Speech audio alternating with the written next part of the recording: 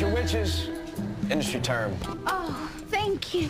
Thank you. So why two?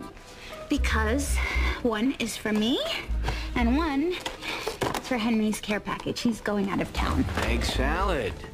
Should have guessed. It travels well. So where's Eggy heading to anyway? Tucson, his baby sonogram. Mmm.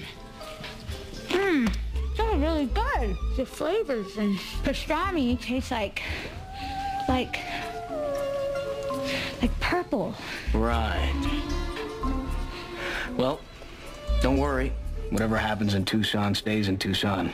What is that supposed to mean? Wow, these tomatoes are really good. They're like sunshine. We're eating sunshine. Hmm. But come on, the guy's gonna go down there to go and see his ex-girlfriend.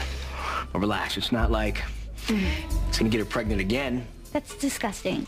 He would never cheat on me. No, you're right. It's not Eggy style. His name is not Eggy, it's Egg Salad. Betty, you, you okay? No, it's Henry. It's Henry. Is it really hot in here? Because I'm sweating.